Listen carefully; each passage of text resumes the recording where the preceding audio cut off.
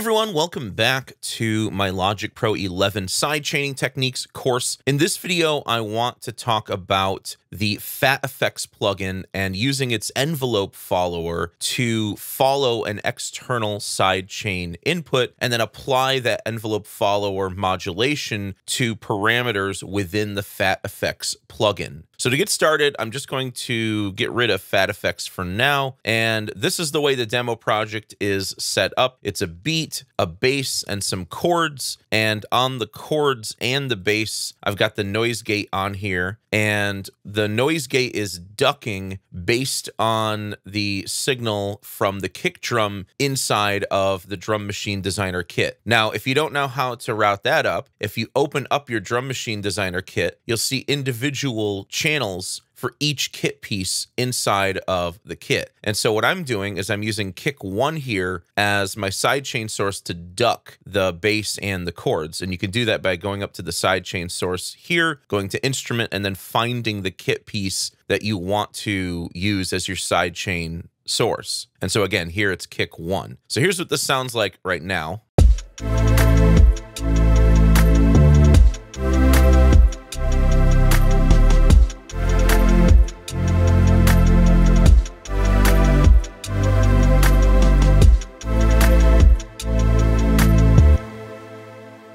And without those noise gates in, you're just going to hear long notes in the chords and bass.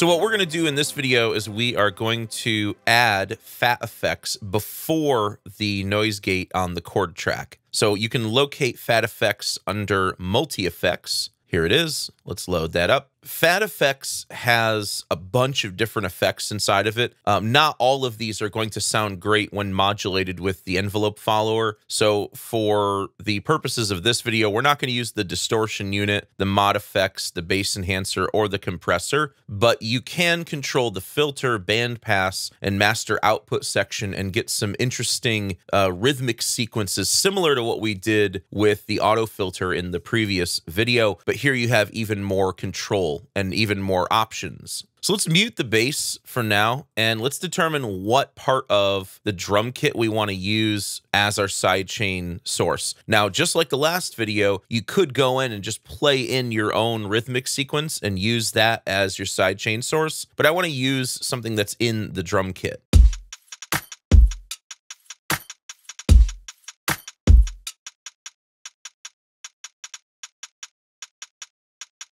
So let's use hi-hat 3. I kind of like that rhythm. So what we're going to do is go into the sidechain sources here, go down to instrument, and then find hi-hat 3. And so now hi-hat 3 is going to be feeding the envelope follower. Now by default, the envelope follower is affecting the filter cutoff. So let's go ahead and turn on the filter. And you'll see this little blue line here showing the modulation range. If I turn this off, you'll see that blue line goes away. And now it's just a static filter, a static control. But by adding in the envelope follower, we're allowing the cutoff frequency frequency to be modulated by the rhythm of the hi-hat.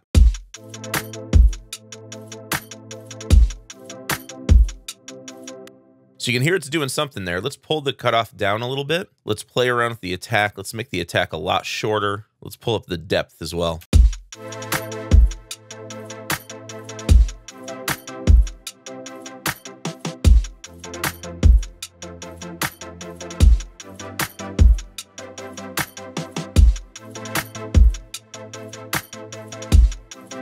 A little soft. Let's give it some drive.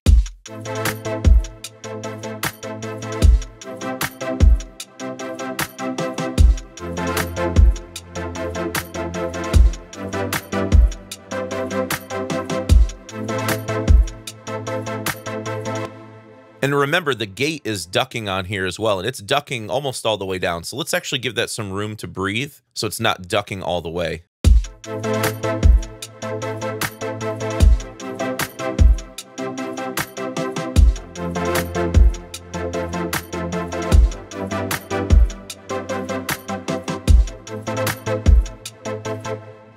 And just remember, with a shorter attack and release, you're going to get something that's a little more punctuated, a little more percussive. Whereas if I pull out the release time, it's going to increase the tail of each one of those hits.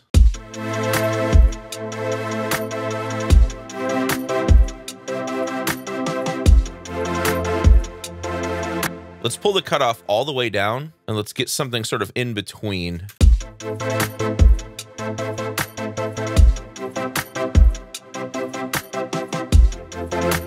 And then with the bass in,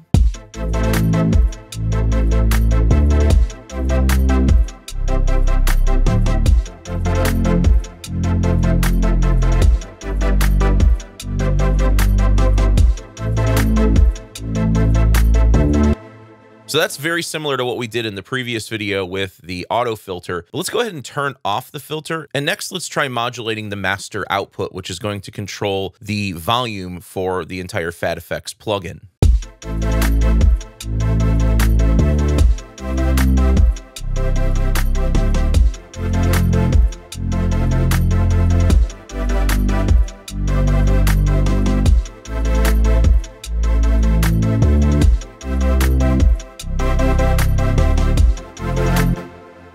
All we're doing here is controlling volume. There's no filter on it, but we could pair another parameter with this. So maybe I could pull in the LFO and let's control the bandpass high frequency. So let's go down here to target. Let's go to bandpass high cutoff. Maybe pull that down here somewhere. Let's keep this tempo synced and let's make this like a four bar uh, modulation.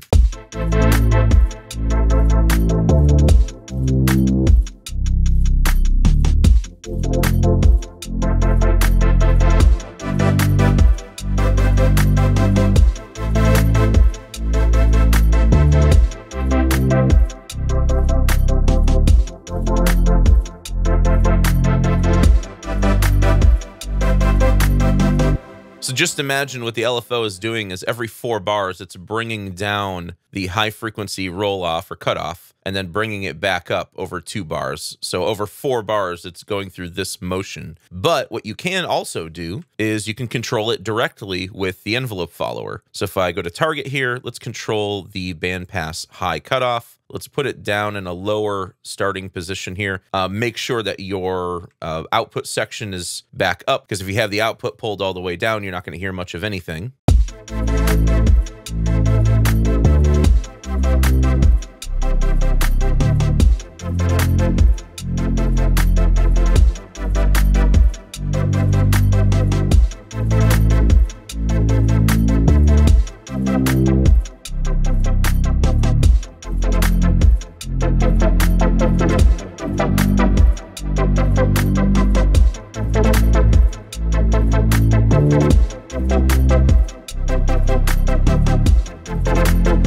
And then you can play around with different types of filters.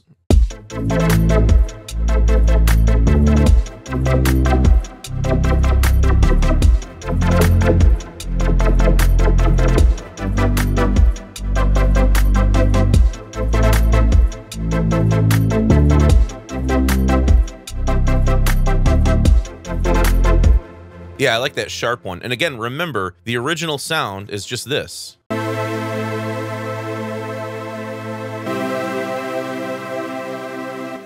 We're adding the noise gate to duck it on the kick drums and a little bit of reverb.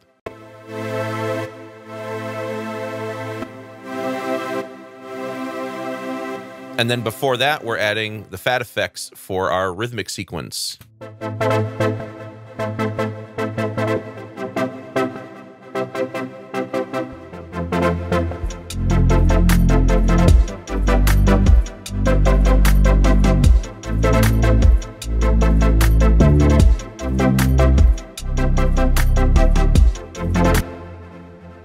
So that's how you can create rhythmic sequences using the envelope follower and the external sidechain source in Phat FX. I hope you guys enjoyed this video. If you did, please leave it a thumbs up and subscribe to the channel to see more content like this. As always, thank you so much for the support and thanks for watching.